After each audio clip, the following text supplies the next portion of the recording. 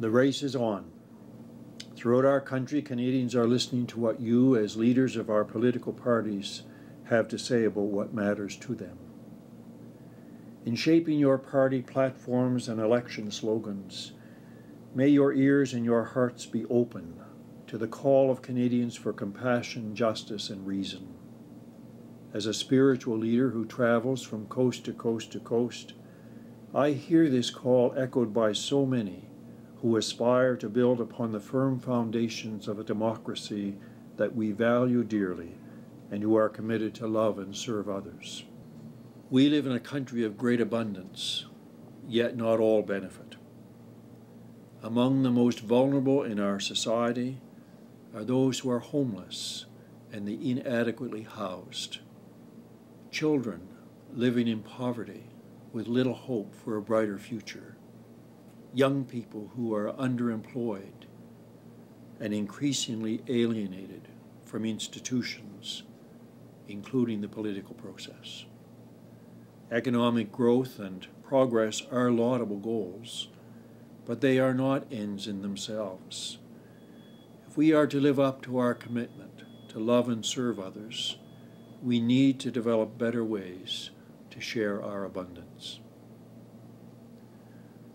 We live in a country that believes in democracy, human rights, and the rule of law. And yet we find ourselves facing major challenges in our relations with First Peoples of the land, our care and responsibility for the environment, and the balance of rights and freedoms with safety and security in a diverse society with its underlying tensions the time has come to engage in new conversations and to work together toward a common good for this and future generations. We live in a country that is an active member within a global system aimed at promoting international economic growth and shared prosperity, peace, and stability, environmental stewardship, and providing humanitarian assistance.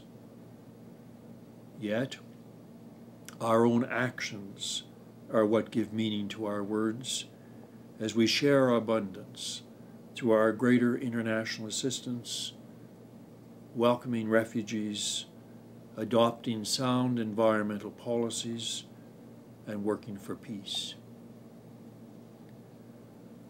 While these issues are not at the center of political debate in this current campaign, that does not diminish their importance in living up to the values we hold as Canadians.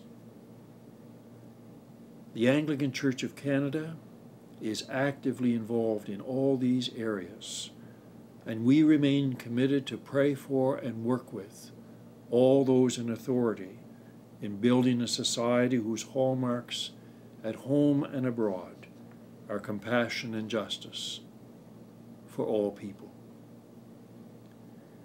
As you continue your journey along the campaign trail, I encourage you to listen to all voices.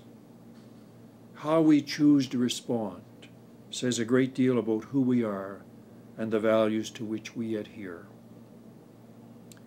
For safety in all your travels and meaningful exchanges with Canadians from all walks of life, I hold you in my prayers.